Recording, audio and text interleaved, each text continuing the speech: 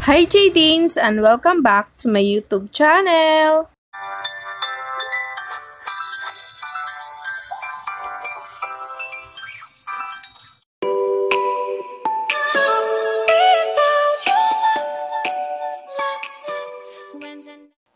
Galante nga ba itong si Nadine Lustre at James Reid sa kanilang glam team?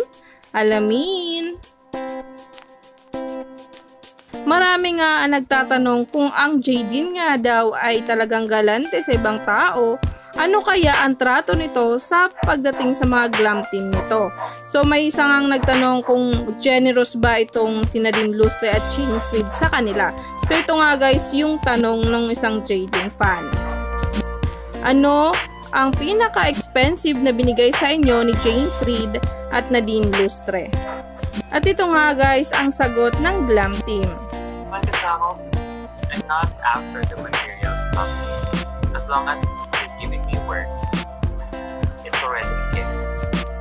Saka, the gift of friendship. Ah, ganon.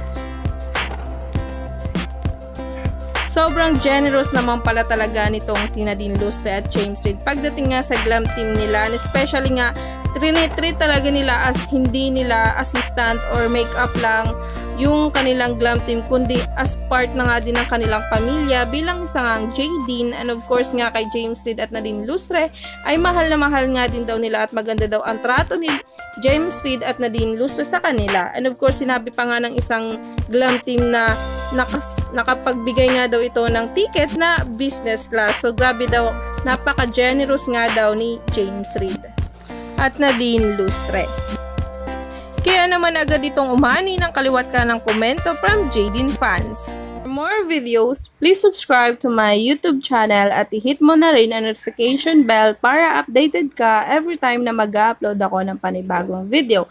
And see you on my next vlog. Bye!